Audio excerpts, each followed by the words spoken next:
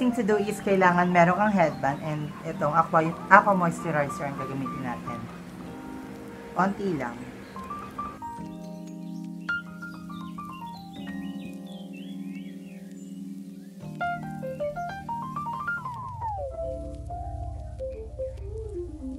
So, by the way guys, ang gagawin nating look is itong look ni Nadine Lustre.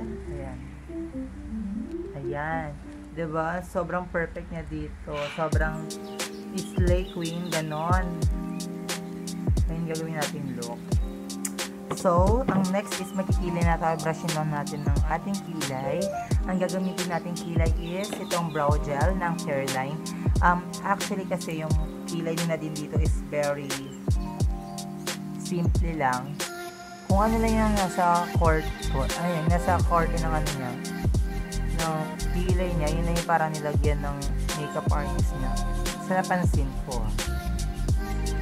Ayan, parang ganito lang.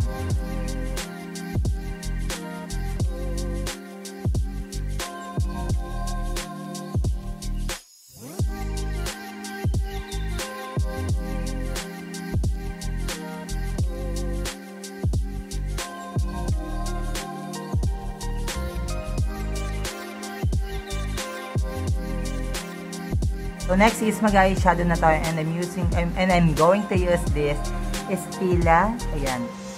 Actually foundation to pero alin na ba? Masag siya kasi pero carry lang yan. Sana is kailangan kasi una brown, brown muna. Then after ng brown, lagyan muna ng black. Char. Brown, brown muna.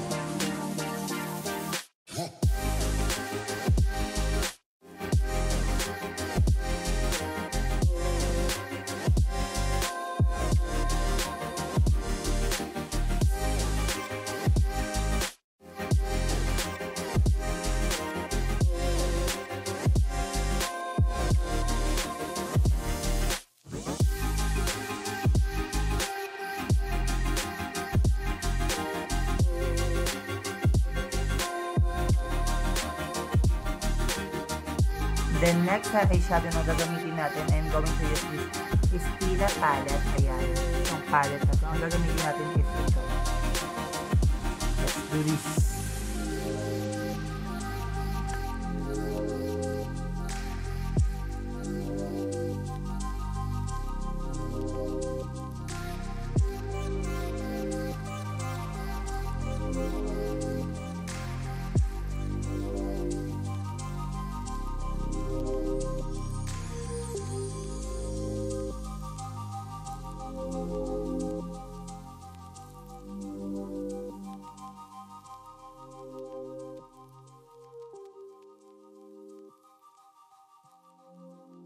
So, disclaimer lang guys, itong makeup look na to is yung makikita natin sa, yung, i-base lang natin siya sa picture na nakikita nyo sa screen. Ayan. Diyan lang tayo mag-base. Um, hindi pagkatapos nito magiging kamukha ko ng si Nadine is itong ginawa ko lang itong video na to is para na-inspired kasi ako sa makeup look niya. Yun lang. That's all. See, Marami siyang color ang gagawin natin dyan is lilinisin natin. Parang nakuha ko na rin oh, tigas ang ulo. Parang nakuha ko na rin naman yung bandang eye niya kasi bandang ano lang yun eh, parang brown at saka brown, brown ano, light brown tas light na ay brown na ano. Basta yun. Nakuha na rin naman natin siya. Then next, kukuha lang tayo ng black na eyeshadow. Napapatungan lang, very on, onti lang. Very late lang mga sis. Papatungan lang talaga natin as Parang dot-dot lang. Para maging smoky yung smoky talaga.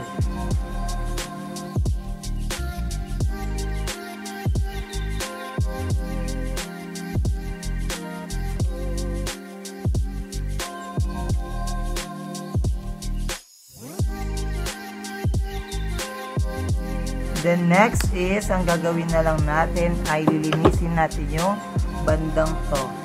Kasi kulang tayo ng hem. Linisin natin tong bandang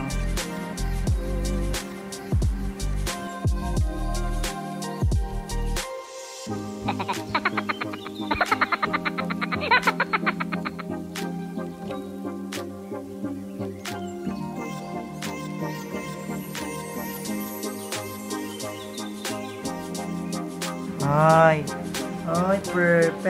Then next is, ang gagawin na lang natin is lalagyan natin dito sa part ng mata natin ng glitters.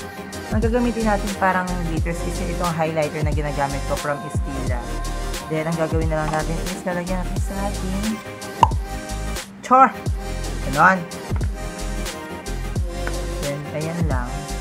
Lalagyan lang natin yung bandang part na yun. Let's do this. So, yun guys. Um, I'm not an expert makeup artist. Um, ito ay ginawa ko lang para sa ating iniidolo na si Nadine Lustre.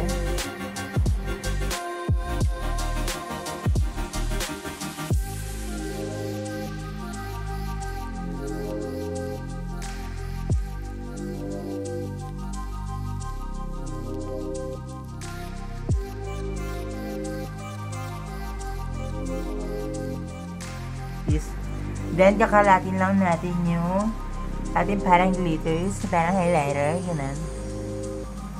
Kalatin lang natin mga sis para hindi siya sabog-sabog. Char! Yan! Diba perfect? Then, ang gagawin na natin is lalagyan natin yung baba ng parang glitters din. Again, glitters. ang- I don't know kung glitters to, pero carry na to kasi parang ito na rin yun eh. From Taiwan. Padala ng ate ko. Shoutout sa, ay, mga ginatapon. Yan natin. Ayan. From Taiwan. Padala ng ate ko yan. Perfect yan. Then next is, kulang tayo ng brush. Then lalagyan natin dito sa ating under eye. Actually, kailangan pala muna is brown na. Carry na rin yung ano, yung brown na parang highlighter. Lagyan natin sa baba. ha ha ha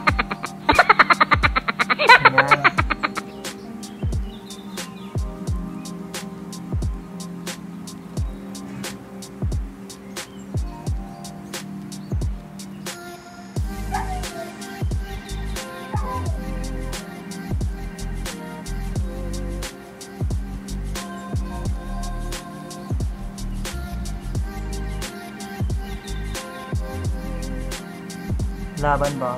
Then, lagyan na lang natin sa ah, gitna niya, dito sa gitna. Lalagyan natin sa gitna ng glitters na silver.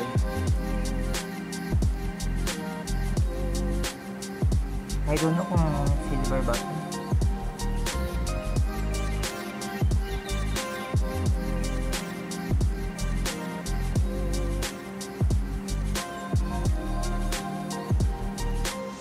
Yan na, demonyo nga. Then, lalagyan natin dito sa bandang part na to sa ating eye. Ayan. Para kumikinang-kinang. Kasi, yung look na to ni Nadine is kumikinang-kinang siya. Ayan. Tapos na tayo sa bandang part ng eye. Ang gagawin na natin is magbe-bake na tayo or papatungan pa natin yung ating mukha ng pundasyon para perfect yung mukha. Kasi sobrang perfect yung mukha ni Nadine. Kailangan perfect din yung mukha natin. So, yun sa, sa foundation na gagamitin natin is ang gagamitin natin is, is itong K-Beauty by Red Logo. Ayan. Kasi si Nadine hindi siya ganun kaputi. Sakto lang sa kanyang mukha. Then, patungan lang natin. Dot, dot.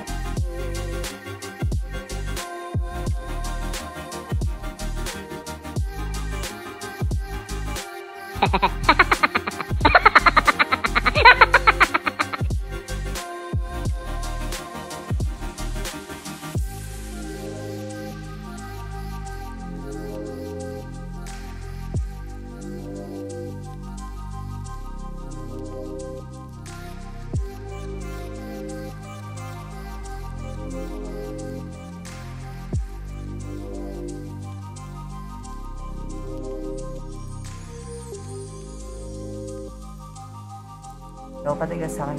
Patungan natin pa. Papat, papatungan pa natin yun ng bonggang-bong. Tapos hindi natin masyadong i-blend. Ang gagamitin natin is itong ulit. For the patong Marcy. Pero laban lang. Patungan natin yung imperfection sa ating mga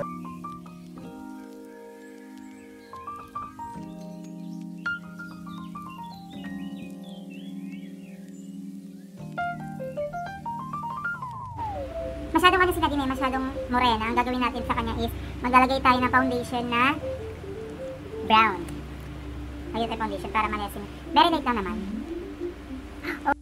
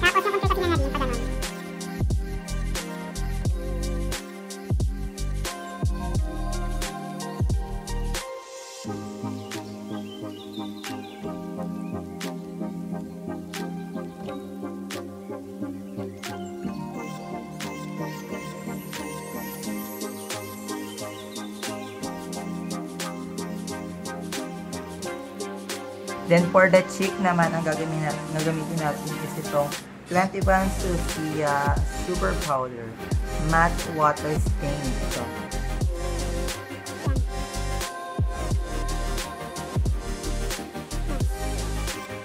Kung nakapansin nyo mga kapowder, gagawa natin ng paraan. Sorry,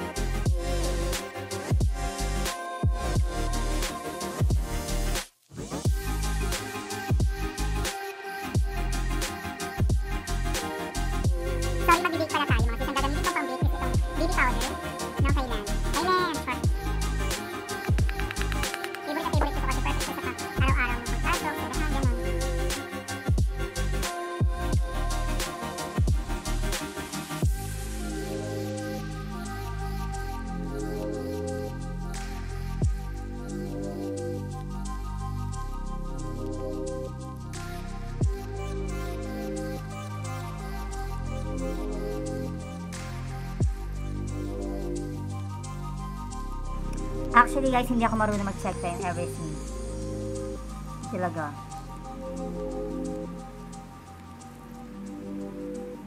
Kaya good luck sa akin.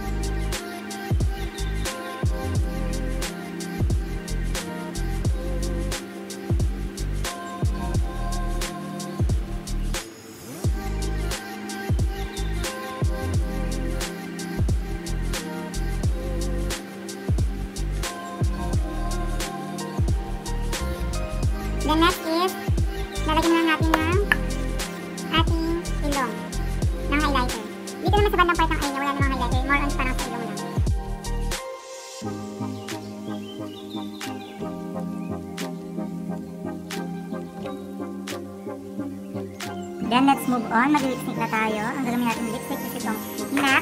MAC. MAC. Ayan. Ayan yung MAC. MAC. Tira na siya kasi matagal na rin siya pero ang ganda pa rin ang quality ng lipstick. Ayan. Mag- hindi pa rin matatanggal, matatanggal or ma mauubos rather.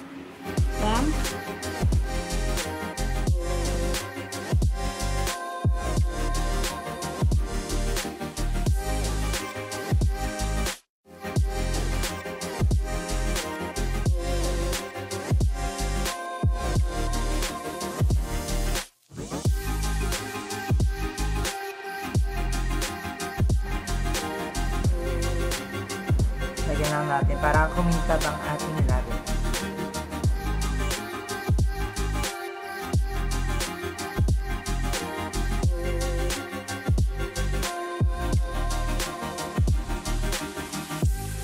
pack. And, ay, nakalimutan ko mag-highlight. Pero basin muna natin yung mga ating sa ating mukha. Ano? Ayan. Then, let's move on. Mag- Mag-highlight na tayo. Ang gagamitin kong highlight is false alarm. Nawawala siya. Hindi ko na saan nilagay. Pero kakagamit yun. Ayan, ang gagawin natin is highlight, highlight dito, highlight doon. Yan guys, um, nagkaroon lang ng interruption. Then, tapos na tayo sa ating makeup look. Ang gagawin na lang natin is magpapalit tayo ng damit at saka maglalagay tayo ng wig. And I'll be back.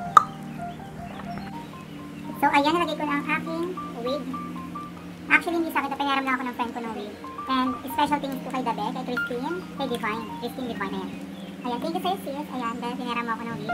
And, ayusin na natin ang wig at saka mag-montage lang tayo and I'll be back. So, this is the final look mga sis. This is my heart goes